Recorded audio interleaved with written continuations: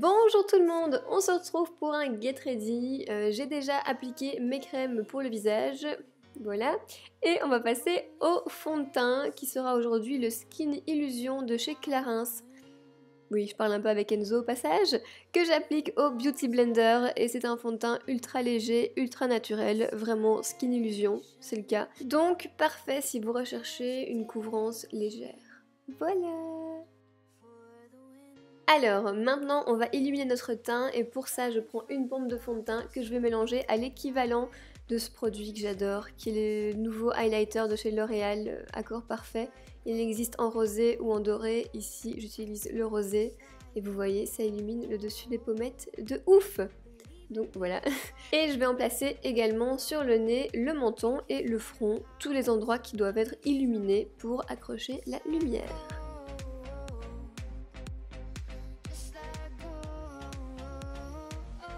Une fois que c'est fait, on passe au Graal, le Pro Wear Concealer de chez MAC, qui est mon anti-cerne favori. Je suis tellement rougeâtre, euh, oui je voulais dire rouge, et puis je me suis dit rougeâtre c'est mieux.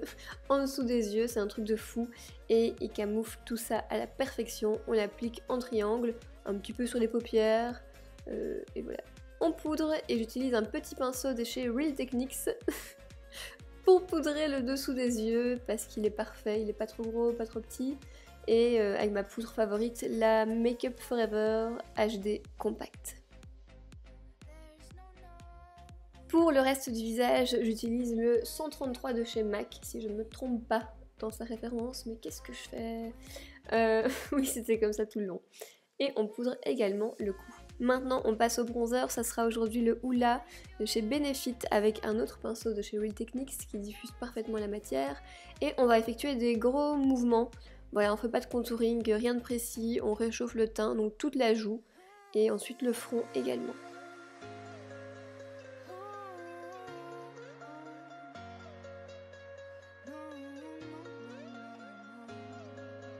Bon, il me semble qu'on a oublié un truc là. Le contouring du nez, vous savez que je le fais à chaque fois, et je vais utiliser un pinceau de chez Sigma, trop pratique, qui fait partie de leur kit contour et highlight. Il est parfait pour tracer les lignes droites, et donc parfait mon nez. on estompe un peu le tout et on passe au blush qui sera le Melba de chez MAC qui convient à tout le monde, qui est vraiment le blush passe-partout euh, pour tous les jours. Euh, et ensuite, oh mon dieu, j'ai trouvé un de ces produits de ouf aux USA, c'est un highlighter de chez Laura Mercier que j'applique avec un pinceau Sigma du même kit hein, euh, que l'autre, sauf que celui-ci c'est pour l'highlight, il est parfait pour le haut de la pommette et mon dieu, regardez-moi, c'est un Dans le pont, on dirait un voile en plus.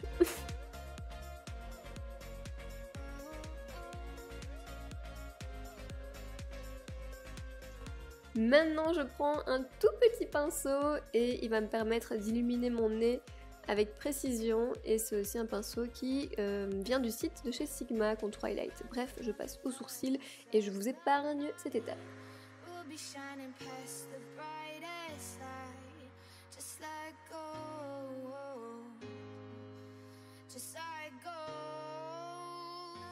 Ils sont faits, je passe aux yeux. Je vais utiliser la palette Natural Matte de chez Too Faced.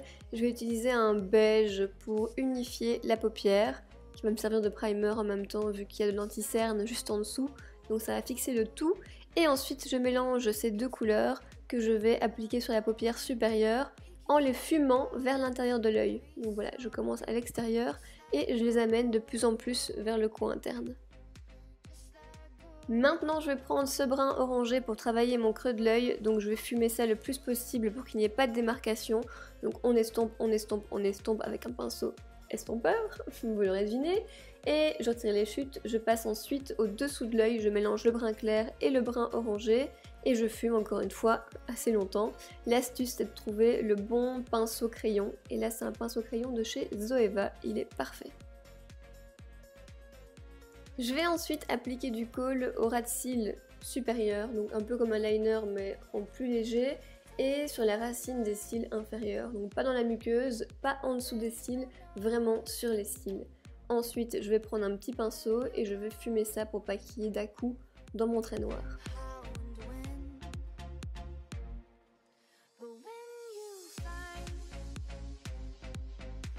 Voilà ce qui arrive quand on veut faire n'importe quoi. je passe au mascara et en ce moment, vous... mais qu'est-ce que je fais? Franchement, parfois j'ai honte. Non, mais je vous l'ai mis en vidéo, c'est que j'assume quand même. Hein. Euh, c'est le Better Than Sex Waterproof de chez Too Faced, le mascara. Et maintenant, le crayon pour les lèvres, c'est le numéro 34 de chez Makeup Forever.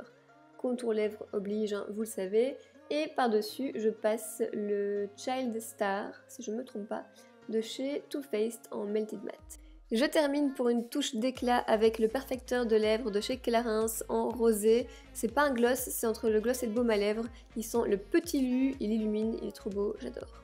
Et on termine en fixant, aujourd'hui ça sera avec l'eau de raisin de chez Caudalie. Et on a fini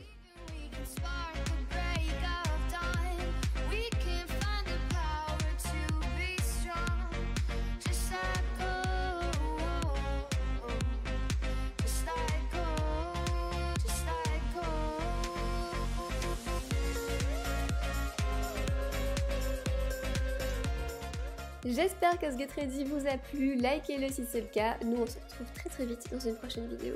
Bisous bisous